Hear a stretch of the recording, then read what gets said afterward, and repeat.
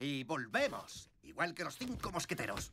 ¿No eran tres? Bueno, nadie sabe cuántos eran realmente. ¿No sabías que Los Tres Mosqueteros es una obra de ficción? ¿Escrita por Alejandro Dumas? Mucha gente también dice eso de la Biblia. ¿Qué? ¿Que la escribió Alejandro Dumas? Eh, no seas capullo, Steve. La escribió Jesús. Falta mucho. ¡Vamos allá! Hacía 20 años que no se veían. I'm free to do what I want. Pero esta noche vuelven a su ciudad natal para correrse una juerga de pub en pub. Al fin podremos conquistar la milla de oro. 12 pubs, 12 pintas. Y esta vez piensan llegar hasta el último. El fin del mundo. ¡Venga! Vamos. ¿Qué nos recomienda? Cerveza. Pónganos cinco, por favor. Que sean cuatro y un vaso de agua light. Mirad quién es. Vaya. ¿Cuánto tiempo? Willkommen, bienvenido, welcome. es muy raro, ¿no?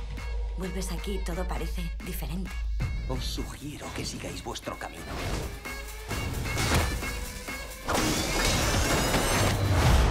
Bienvenidos a casa. No hemos cambiado nosotros, es la ciudad.